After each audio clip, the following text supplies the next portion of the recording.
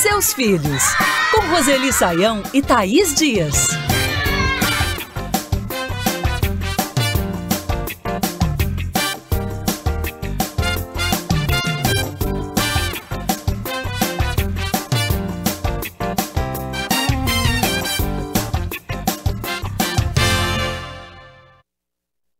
Uma avó que pediu para não ser identificada, Roseli, é quem mandou o e-mail para a gente.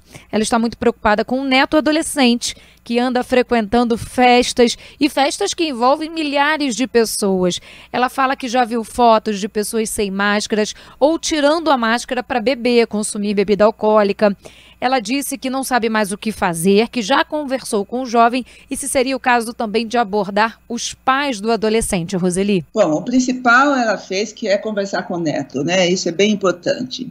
E nós temos notícias, né, de que algumas escolas que estavam em funcionamento do ensino médio tiveram diversos casos de infecção, né, pelo Covid, e a notícia é de justamente que os adolescentes frequentaram festas com muita gente. Talvez seja interessante ela procurar essa notícia na internet, ler junto com o neto, pensar junto com ele, lembrar né, da idade dela, do risco que ela corre, dos pais. E depois disso, conversar com os pais.